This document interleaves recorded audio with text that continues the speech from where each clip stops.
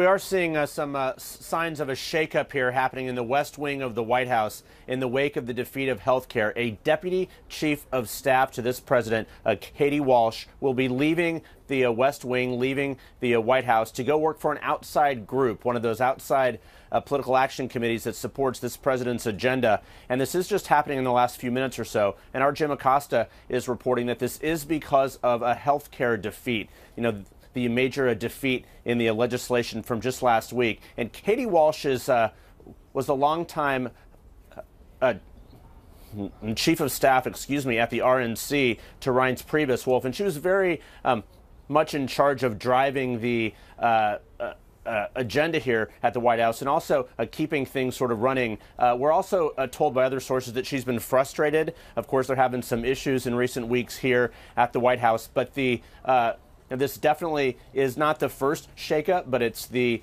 uh, second, I guess, if you consider Michael Flynn, of course, the national security advisor who was let go more than a month or so ago. But, Wolf, this is definitely coming on a day when the White House is trying to uh, sort of reboot, and they're desperately looking for a win. The president earlier um, in the day was doing something he rarely does. He was taking aim at fellow Republicans, going after some of those House Freedom uh, Caucus members. Um, so this is uh, something the White House is clearly trying to uh, reboot and get things back on track here after a very rough uh, 10 weeks or so out of the gate, Wolf.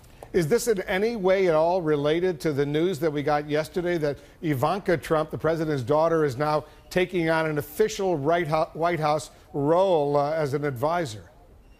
Well, that's a good question. I mean, the Ivanka uh, uh, Trump hiring sort of stands alone as itself. She is a an advisor unlike anyone else here at the West Wing, of course, because she is a family member first and foremost. But she definitely is taking a greater uh, role and reins on everything here. So we do not believe it's directly connected to that at all. And our sources are saying that uh, Katie Walsh is not being fired by any means. She is staying within the Trump family, if you will, by going outside the uh, White House to sort of uh, build consensus and a coalition for his message. Um, but you know, the hiring of Ivanka officially, you know, certainly has everyone on uh, on on edge in some respects and on watch here at the White House to see if other uh, staff shakeups will occur because of that. But in terms of if they were absolutely uh, connected, Wolf, we don't think so at this time.